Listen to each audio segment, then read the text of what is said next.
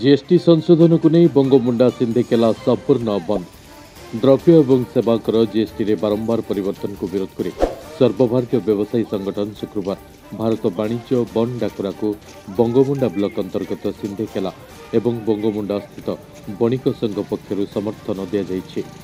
सकालु सिन्धेकेला बणिक संघ सभापति सुभाष जैनको नेतृत्वले जगन्नाथ मन्दिर प्राङ्गण र एक बैठक अनुष्ठित समस्त सदस्य भने एक रेलीले बाहे आमर दावी जीएसटी संशोधन दे ग्राम परिक्रमा समस्त दुकान दोकान बजारको बन्द गरि सिन्धेकेला सकालु अपरा दुईटा पर्न्त समस्त दुकान बजार सम्पूर्ण बन्द र सिन्धेकेला थाना अधिकारी अनंत प्रधान दावीपत्र ପ୍ରଦାନ କରାଯାଇଥିଲା ରାଲିରେ ଅନ୍ୟମାନଙ୍କ ମଧ୍ୟରେ ପୂର୍ବତନ ସଭାପତି ସରୋଜ ଜୈନଙ୍କ କୋଷାଧ୍ୟକ୍ଷ କିରୋଡି ଜୈନ ସମ୍ପାଦକ ବଜରଙ୍ଗ ଜେନ୍ ଛତ୍ରପାଲ ଜୈନ ପ୍ରସନ୍ନ ଜୈନ ପ୍ରମୁଖ ଯୋଗ ଦେଇଥିଲେ ବଙ୍ଗବନ୍ଧୁ ଅଭିମନ୍ୟୁ ବୈଦାରଙ୍କ ରିପୋର୍ଟ ଓଡ଼ିଶା ଟାଇମ୍ସ